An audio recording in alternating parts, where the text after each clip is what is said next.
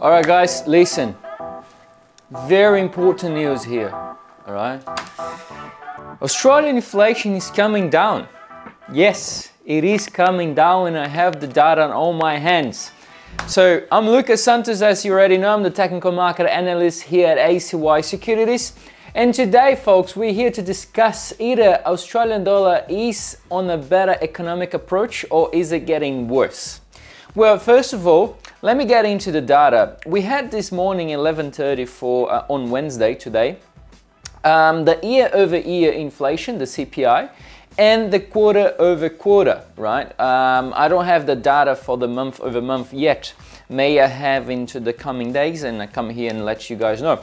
Um, but all right, what we need to know is that the previous year over year inflation was at 7%, all right? 7% is a big drop from where we are now that it's 6%. The consensus was at 6.2. So we had a point to drop below the consensus and this is really, really good for Australia, right? But not for the currency. Uh, we get that back on soon. Um, the quarter over quarter, uh, the previous was 1% last quarter, quarter two. And the consensus is uh, would come higher than last quarter they were expecting the inflation to come higher at 1.4. So, well, happy days, it came much lower than expected. It came 0.8, all right? So this is a big drop. Um, we're talking about 0.6% drop, and this is massive.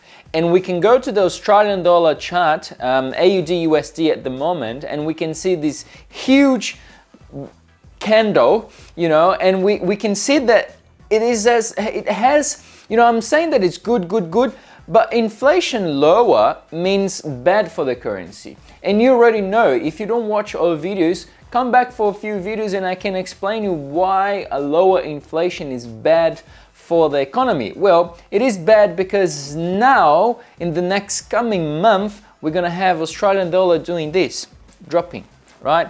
Um, i'm going to have to go for the levels but i'm looking at around 0.66 0.67 uh, maximum range.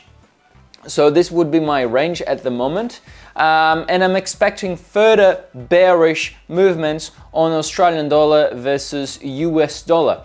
Well, coming back again, this is bad for the currency. It is good for the market. Uh, maybe we can have uh, rental prices going down in the coming quarter. So basically, uh, come, uh, coming to the end of this year, beginning of next year, we may have a bit of uh, coming down on the rents. Well, hopefully we can do that. Um, but at the moment, in focusing Forex, we're gonna have a very bad performance for Australian dollar.